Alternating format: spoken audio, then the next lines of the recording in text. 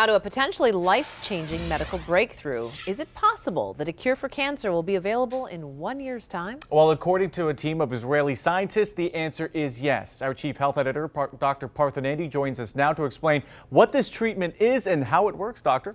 Yeah, and I'm super excited. The treatment is really being called Mutato, which is short for multi-targeted toxin and it's developed by a company called Accelerated Evolution Biotechnologies. Now, the scientists who came up with this say that cancer cells are killed off using a multi pronged approach, which is basically a combination of cancer targeting peptides and strong toxins. Now, peptides are seen as really a promising approach to treat disease. They're small little protein fragments that can go into cell membranes. And the scientists who developed the Mutato treatment say that it acts similar, like an octopus can get into small places that other large molecules can't reach. So I think it's pretty exciting. Is it a potential game changer in the fight against cancer?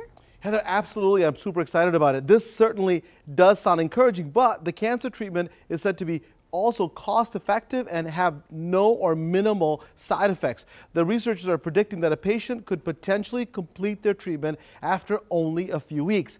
And the goal is to provide personalized treatment for each patient, meaning that they would be given a specific molecule cocktail that works specifically for them and possibly can cure their disease. Wow, pretty incredible. So let's look at some facts. How likely is this cure to becoming reality? So on the company, they've said that they've done an exploratory mice experiment with consistent and repeatable results. But let's face it, this is a good first step. But we all know that just because something works in mice doesn't mean it's going to work in a human being, right? So a, round of clinical trials are the next step for the Mutato treatment, but the researchers predict it'll take a few years to complete. So I'm not so sure they can do this cure-all for cancer by this time next year.